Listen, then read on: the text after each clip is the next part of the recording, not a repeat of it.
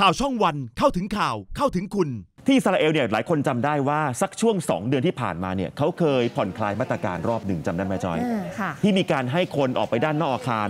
แล้วเขาก็ไปไม่ต้องสวมหน้ากากอนามัย ใส่แมสแต่ข้างในอาคารยังใส่ได้อยู่ ค่ะ ยังต้องใส่อยู่ปรากฏ หลังจากนั้นเนี่ยก็มีการผ่อนคลายข้างในอาคารด้วยนะ คือในอาคารก็ไม่ต้องใส่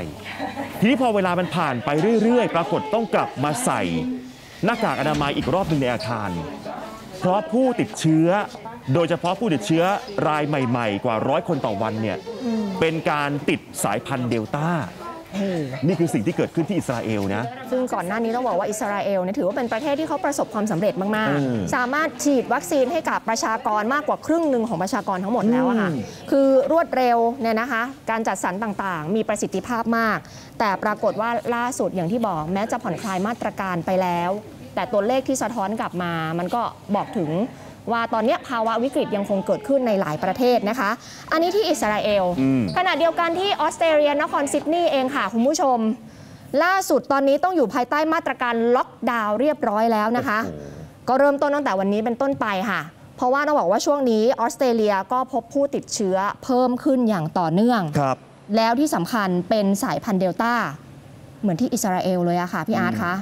ตอนนี้เนี่ยมีคนในประเทศเขานะ ติดเชื้อเดลต้าสะสมรวมทั้งหมด 65 คนแล้วค่ะ ทางการเขาก็เลยประกาศล็อกดาวน์เลยเนี่ยแหละค่ะ ก็เงียบกริบเลยอืมปิดทั้งหมดนะ จะย่านใจกลางเมืองจะที่ชายหาดชื่อดังต่างๆ สั่งปิดไปก่อนจนถึงเรียกได้ว่าตอนนี้ก็สั่งห้ามด้วย ห้ามคนเดินทางเข้าออกนครซิดนีย์ไปจนครัถึบง2กรกฎาคมนะคะ ใช่ แล้วล่าสุดอย่างที่บอกไปเนี่ยมันอันตรายนะ ทางองค์การอนามัยโลกหรือฮูนนะครับออกมาเตือนเรื่องเชื้อโควิดสายพันธุ์เดลต้าคือเดลต้าคืออินเดียนะครับคุณผู้ชมเดี๋ยวลืมกัน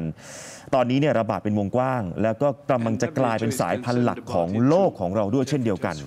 หลายที่เพิ่มขึ้นเรื่อยๆที่อังกฤษก็เพิ่มเยอรมนีก็เพิ่ม ไทยเราก็ 661 คนด้วยกันเนี่ยนั่นน่ะสิโอ้โหนี่ฮะ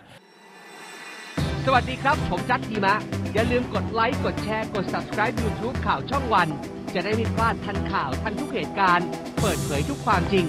จากทีมข่าวช่องวัน เข้าถึงข่าว เข้าถึงคุณ